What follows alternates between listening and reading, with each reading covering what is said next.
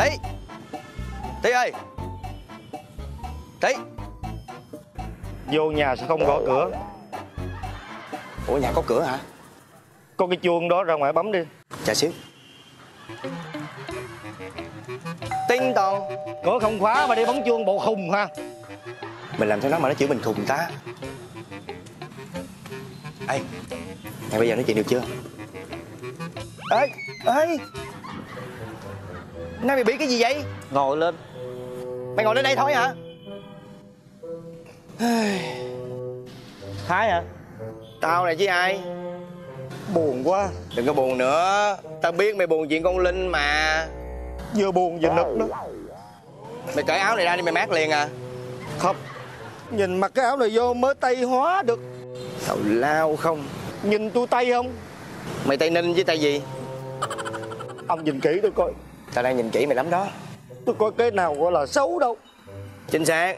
Nếu mà nhìn thẳng tôi á giống y chang như diễn viên hồng kông.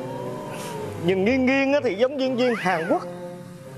Tóc tai thì như công phượng nhìn xéo xéo thì giống như là lai pháp. Nhìn từ dưới ngược lên á thì mày lai phóc là- mày lai phóc đúng rồi. Ừ. Ông đang chửi rồi hả? Giỡn. Nói cho nghe nè thôi cái chuyện mà của chú với lại linh là tôi biết lâu rồi. Nhưng mà vậy nè cái gì cái cũng đừng có để con mình tàn tạ như vậy. Lỡ con gái người ta nhìn vô người ta đánh giá mình thì sao? Nhưng tôi á tôi phải tìm ra cách tôi không biết cách gì hết trơn á. Tôi dùng hết cách rồi. Thật sự ra con gái rất là đơn giản. Chỉ cần mình chú ý mình hiểu chút xíu là được. Rất nhiều cách để mà mình tiến gần lại linh. Ông có cách luôn. Có chứ sao không trời? Sao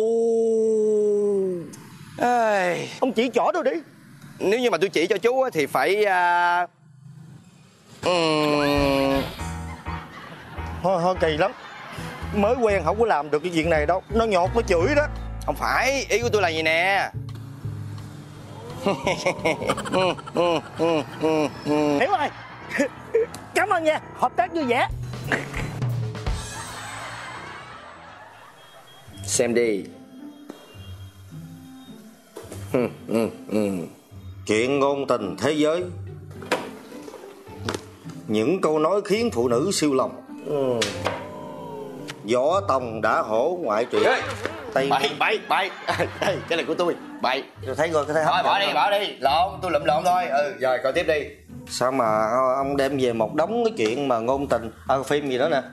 Phim Hàn Quốc không nè? Nè tôi nói cho ông nghe thực sự ra con gái bây giờ nó rất là đơn giản. Giống như kiểu là ờ thích xối ca thích ngôn tình hàn quốc đồ lãng mạn ước ác đồ.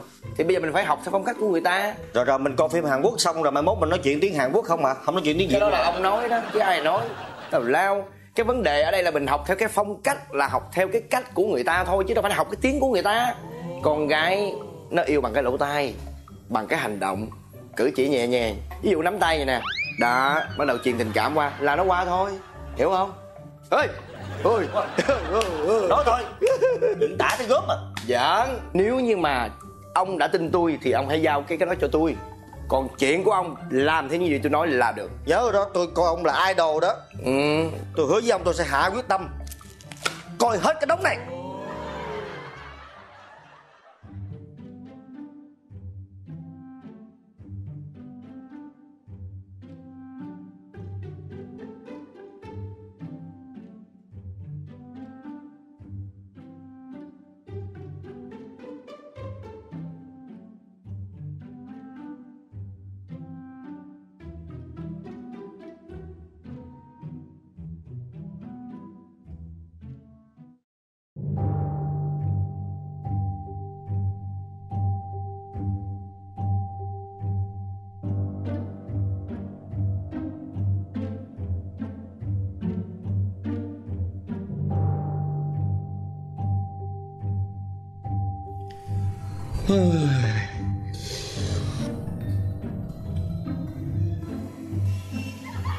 bạn ơi.